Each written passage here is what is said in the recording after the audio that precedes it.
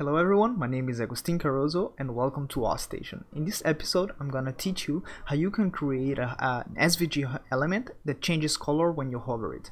So this is very useful when we're dealing with logos and icons. So this is how the final result is gonna be like. Alright, so let's get started.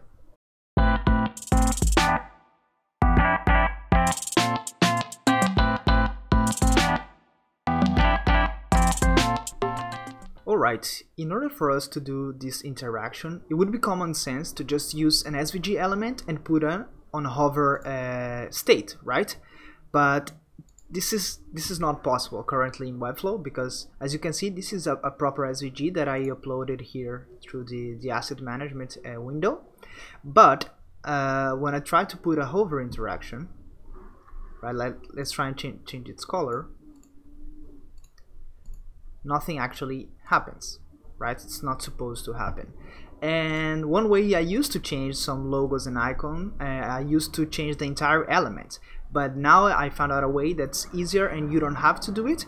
So what you actually need to use is an embed element which right now it's only available uh, for those who pay for a Webflow Pro account right? It's not available on free for but for those of us that can we're, what we're gonna do right now is gonna add an embed element. Alright, so once we open the embed code editor, it's gonna ask us to input a code here, but we don't have a code yet, right? So why don't we go back to the computer and then you click on your SVG file that you downloaded or then you created in a program such as Figma or Sketch. Then you're gonna go to uh, open it with Notepad or any note editing software and in here you're gonna be able to see the source code. So what you're gonna do right now is is copy the svg open opening brackets and the svg closing brackets and everything that's in between.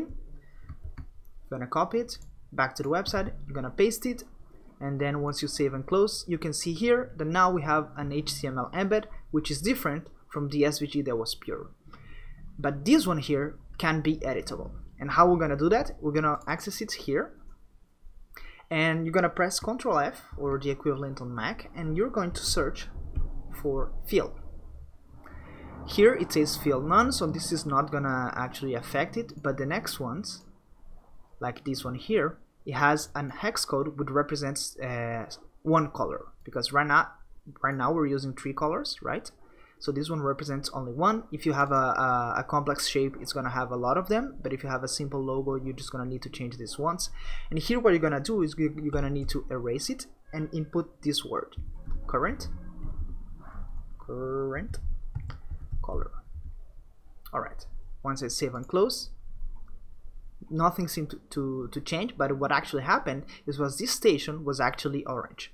But now it's actually representing this color right here from the typography. So you can see that if I click here I'm gonna be able to change its color right? But we don't want to do that. What we actually want to do that what we actually want to do is to change its color when we hover over it. So we're gonna come over here uh, on the states. We're gonna click on hover and such as any order element we're gonna be able to change its color back to normal. And then here gonna be able to see. That it changes on a hover now you can do that for these three colors. As I mentioned the, uh, the only thing you're gonna need to do is to search for fill on the other spots. And such as the other one change it to current color. Save and close. Same thing. See? Easy peasy Alright, so that's it for today's tutorial. Remember to subscribe to my channel in order to get notified whenever I launch new content. And as I am just starting my channel, any engagement helps me a lot, so make sure to post a comment or like this video so I can keep bringing you more tutorials and helpful guides. So that's it guys, and I see you in the next video. Bye bye.